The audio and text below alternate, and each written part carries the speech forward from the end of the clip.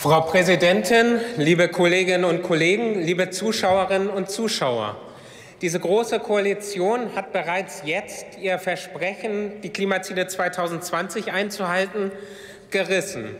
Aber wir wissen jetzt seit Freitag, dass diese Große Koalition auch nicht bereit ist, sich überhaupt zu bemühen, die Klimaziele für 2030 einzuhalten. Und das ist das große Skandal.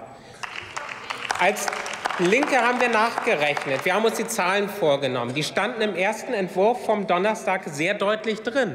Und diese Zahlen, wenn man das Ganze ausrechnet, liegen weit unter dem, was notwendig sind. Damit ist eine Klimaschutzlücke ausgerechnet, die höchstens zur Hälfte dass äh, die höchstens zur Hälfte geeignet ist, um diesen Klimaschutz zu erreichen. Und das ist ein verheerendes Signal. Das ist deshalb ein verheerendes Signal, weil Deutschland eine zentrale Verantwortung hat. Nur die USA, Russland und China haben historisch mehr CO2 in die Welt geblasen als Deutschland. Deutschland ist historisch gesehen der viertgrößte Klimasünder. Und deswegen haben wir eine Verantwortung. Und deswegen sagen wir als Linke, wir werden dieses Klimapaket nicht mittragen. Aber dann sitzen wir am Mittwoch im Wirtschaftsausschuss und ich habe die Möglichkeit, Herrn Altmaier zu befragen. Und Herr Altmaier sagt, nun, 1,4 Millionen Menschen auf der Straße nehme ich zur Kenntnis. Ich nehme die Kritik der Verbände und der Wissenschaft zur Kenntnis. Aber er sagt, wir sehen keine Möglichkeit, etwas zu ändern. Dieses Klimapaket ist genau richtig, wie es ist.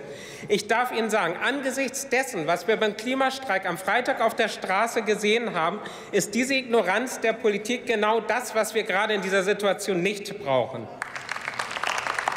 Und ich könnte Ihnen an dieser Stelle jetzt lange ausführen, warum dieses Klimapaket so nicht funktionieren wird. Ich will das aber hier lassen, sondern will einmal deutlich machen, wie eine linke Klimapolitik aussehen müsste, wie es besser gehen würde mit echtem Klimaschutz. Erstens, im Bereich des Energie, in der Energie und des Stroms brauchen wir nicht nur den Kohleausstieg 2030 und einen früheren Einstieg. Wir müssen auch über die Strompreise sprechen. Wir müssen darüber sprechen, dass einkommensschwache Haushalte von steigenden Strompreisen überproportional belastet sind während weiterhin große Energiekonzerne ausgenommen sind von der erneuerbaren Energienumlage. Genau das muss geändert werden. Wir müssen endlich die Verursacherin zur Rechenschaft ziehen, nicht die Verbraucherinnen und Verbraucher. Und wir müssen darüber reden, wem gehört denn die Energiewende? Diese Bundesregierung ist leider auch mit diesem Klimapaket wieder dabei, die Energiewende an die großen Konzerne zu verscherben. Das muss ein Ende haben.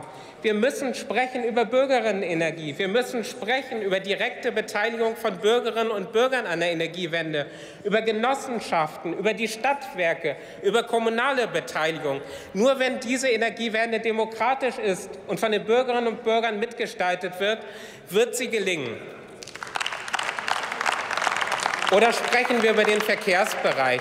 Da hat ja jetzt mittlerweile nicht nur das Bundesumweltamt, sondern sogar auch aus dem Bundeswirtschaftsministerium gesagt worden, dass das, was Minister Scheuer vorlegt, Luftbuchungen sind. Und genau deshalb weigert er sich, auch seine Zahlen offenzulegen. Das ist doch ein Skandal, hier anzutreten mit einem Klimakabinett, wo man bereits von vornherein weiß, der Verkehrsbereich wird nicht liefern.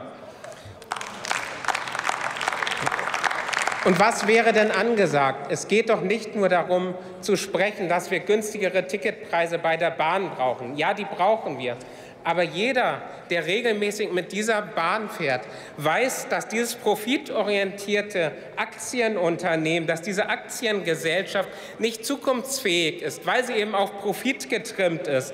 Das heißt, wir müssen die Eigentumsform der Deutschen Bahn ändern. Wir müssen dahin kommen, dass diese Bahn wieder eine Bürgerinnenbahn für alle wird und nicht auf Profit ausgerichtet wird. Wir müssen die Strecken ausbauen. Wir müssen alte Strecken wieder reaktivieren. Wir müssen Strecken elektrifizieren. Und wir müssen dafür sorgen, dass diese Bahn endlich pünktlich und zuverlässig wird. Und last but not least, wir müssen den Autoverkehr reduzieren. Wir müssen schaffen, dass die ländlichen Regionen viel mehr in den öffentlichen Nahverkehr angebunden werden, dass die Menschen nicht mehr angewiesen sind, unbedingt jeden kleinen Weg mit dem Auto zu machen. Wir brauchen die Alternativen zur Automobilität. Genau das ist es. Es reicht nicht aus, die Technik zu ändern. Wir müssen das System ändern.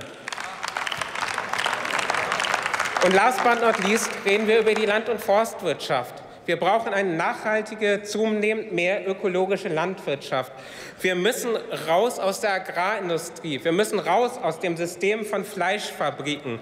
Wir brauchen eine vollkommen andere Landwirtschaft, die nicht auf Düngemittel setzt, die nicht darauf setzt, dass die Waren um die Welt gekarrt werden, sondern die auf eine Regionalisierung, auf regionale Kreisläufe setzt. Und das bedeutet auch, wenn wir hier im Kontext des Waldes reden, müssen wir reden über Maßnahmen der Aufforstung. Das stimmt.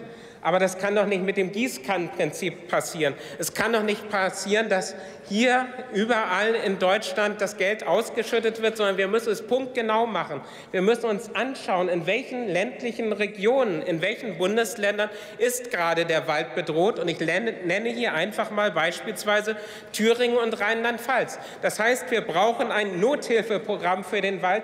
Wir müssen Geld frei machen für Personal, für Ressourcen und für Forschung, auch über Saatgut beispielsweise.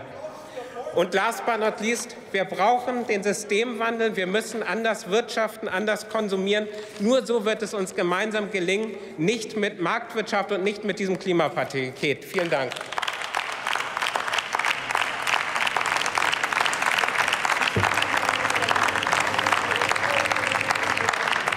Für die CDU-CSU-Fraktion hat nun Hans-Georg von der Marwitz das Wort.